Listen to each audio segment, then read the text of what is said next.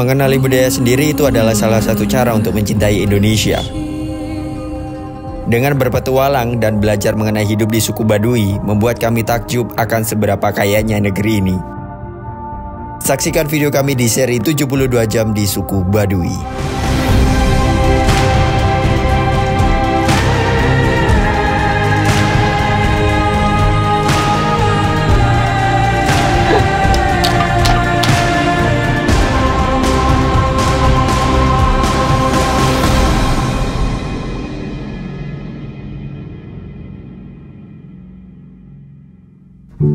Perjalanan kami menuju suku Baduy mulai dari Jakarta dengan beberapa teman yang akan menemani kami eksplor selama di suku Baduy. Oh, hari ini kita mau ke Baduy guys. What's up bro?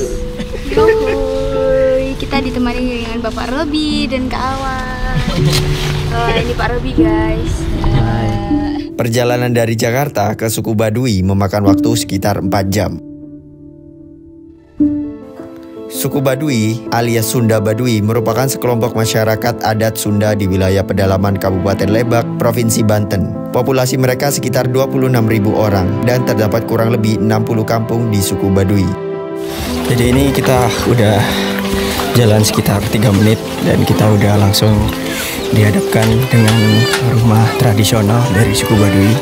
Mereka merupakan salah satu kelompok masyarakat yang menutup diri mereka dari dunia luar. Suku Baduy dibagi menjadi dua, yaitu Baduy dalam dan Baduy luar. Untuk Baduy dalam, mereka menolak penuh tentang dunia modernisasi, seperti penggunaan listrik, lampu, alas kaki, dan tidak diperbolehkan memakai transportasi, dan lain sebagainya. Kalau untuk Baduy luar, ada beberapa sedikit pengaruh modernisasi dengan bisa menggunakan alas kaki, handphone, dan lain sebagainya. Ciri khas baju adat Baduy disebut kampret. Untuk Baduy dalam biasanya memiliki ciri khas pada bagian ikat kepala untuk laki-laki berwarna putih. Untuk Baduy luar berwarna biru. Di kesempatan kali ini kami hanya mengunjungi Baduy luar karena di Baduy dalam tidak diperbolehkan untuk pengunjung masuk pada bulan Kawalu. Tepatnya bulan yang kami kunjungi. Tetapi tidak membuat kami kecewa soal tentang itu karena di bulan yang kami kunjungi adalah tepat bulan musimnya durian. Merah merah. Coba manis. Iya.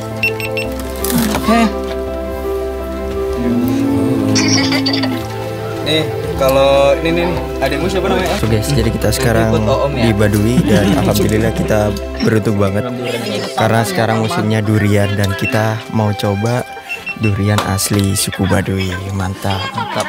Ini kita coba dulu guys. Ini coba Bismillahirrahmanirrahim. Udah pilih udah pilih yang tua. Mantap, manis banget.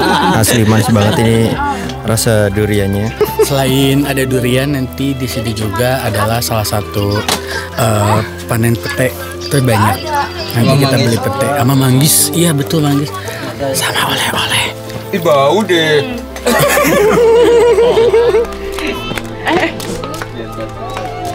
Sumpah. Kita lagi makan durian sekarang. Durian Baduy. Yang ganti. Jadi sebenarnya kalau di sini kan masih kawasan Baduy luar. Nah, kita di sini diperbolehkan untuk ambil gambar maupun video gitu. Cuma kalau nanti misalnya kita ke arah sana lebih jauh lagi itu udah masuk kawasan Baduy dalam, itu kita udah nggak boleh sama sekali. gitu. Oh iya, ini kita lagi siap. Lagi siap. Ci, perdana Pak. Sahabat Costa. Jadi sekarang kita tuh Ini dik-dik sih. kebetulan ya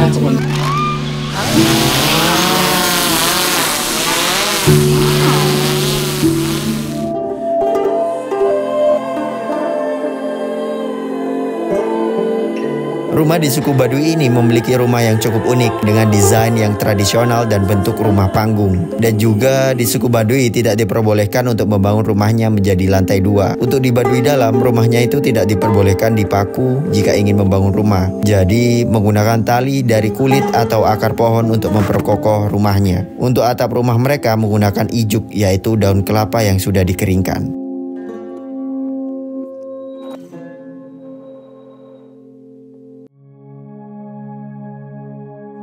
Guys, jadi kita posisi malam hari.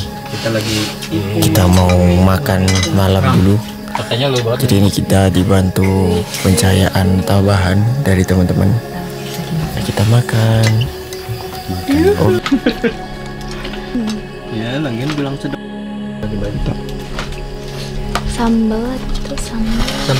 Sambal nasi, tempe, Terus, terus ikan, tahu. emang sambal enggak?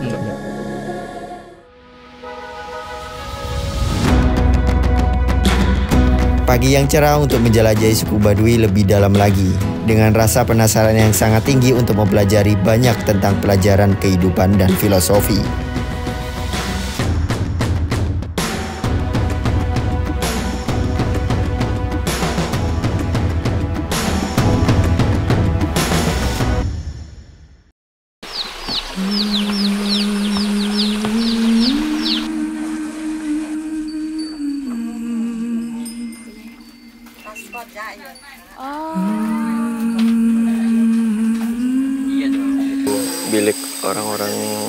Suku Baduy kalau mau mandi.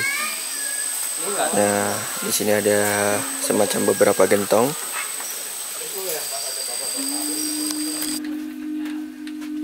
Oke, jadi kita sekarang udah mulai perjalanan mau ke gazebo. Nah, di perjalanan ini kita nemu, nemuin banyak banget kayak bangunan-bangunan yang ternyata bangunan itu untuk penyimpanan lumbung padi.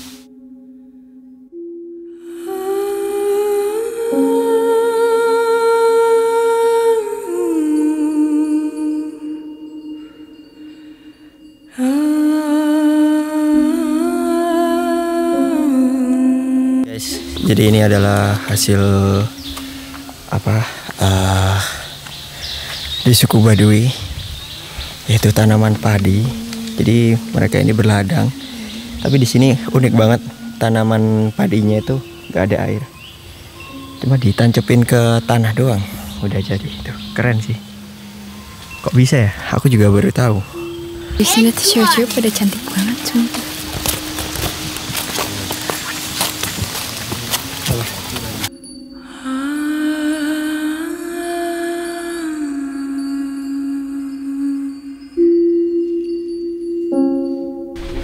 Banget sih kampungnya.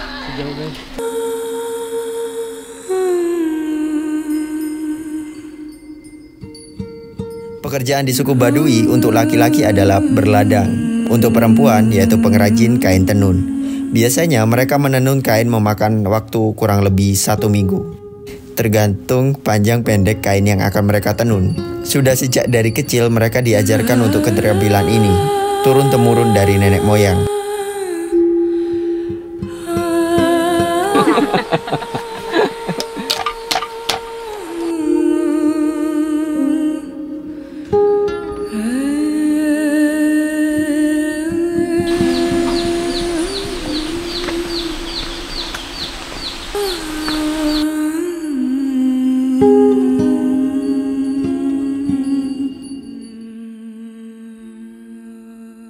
So guys, jadi kita udah sampai di lokasi kayak penghubung antar desa.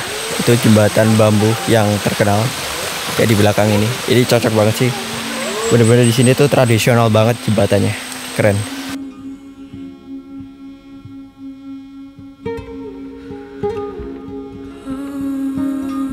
Kita tunggu sungai.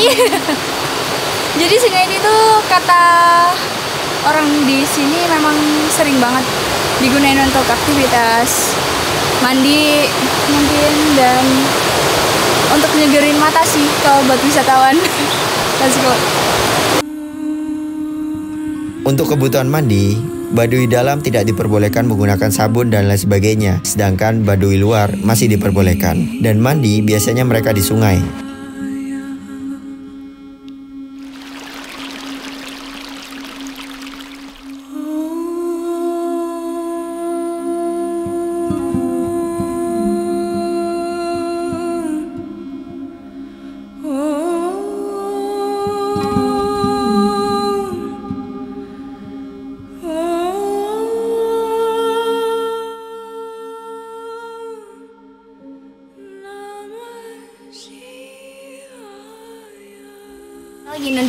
dan kita nemuin bapak ini jualan durian. Segede ini. Yang bagus tuh kayak apa? Iya.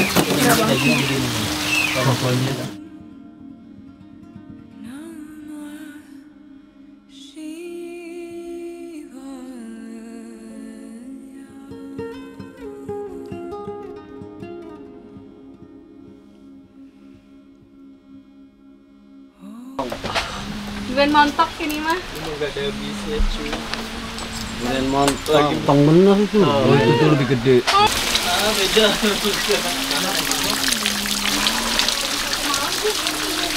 Jadi kita sekarang lagi ada di Kampung Baduy dan kita rencana mau menuju ke arah jembatan bambu. Cuman sekarang lagi cuacanya hujan dan ini bareng teman-teman kita nyobain duren Baduy dan kita beruntung banget kita ke suku Baduy ini di musim durian. Jadi oh mantap. Kalau misal kalian suka banget sama durian, kalian harus ke sini. Dan ini kita udah kloter Kelima. Oh ya kelima. Tiga. Wah, kita udah habisin banyak banget durian guys. Bawahnya ya? Berarti bawahnya sekarang Ya, sama Mas Mansu ini udah banyak banget dia sampai perutnya sakit. Oh ya guys, kalau di sini tuh bener-bener terstruktur ya. Kalau misal segi, kalau misal ada hujan, itu atapnya airnya tuh ngarah ke sini. Terus di sini kayak ada semacam genangan. Jadi air hujan itu menampung di sini.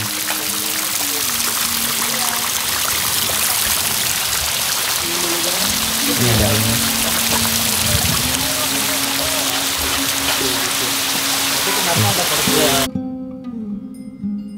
Gimana sayang duriannya yang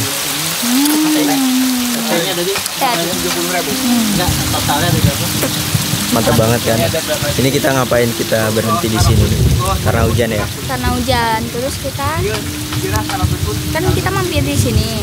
Iya. Ternyata yang kita mampirin rumahnya tuh jualan durian. Jadi kita lihat muka aku seperti durian. Oke. Di belakangnya tuh masih banyak banget duriannya.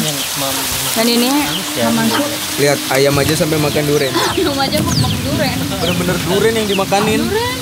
Lagi mau OTW ke jembatan dan kondisinya tuh lagi hujan. Tapi seru banget sih. Kita lanjut.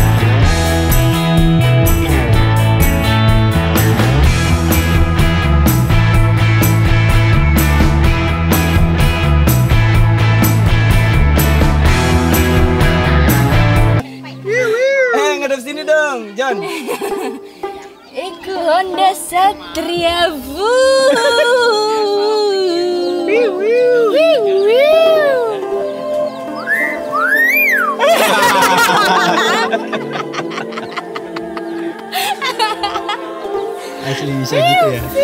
Lagi dong, iku-iku sampai hafal dong. Kok bisa gitu guys? Suaranya.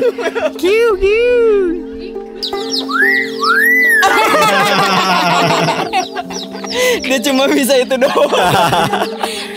Susah ngapalinnya, John.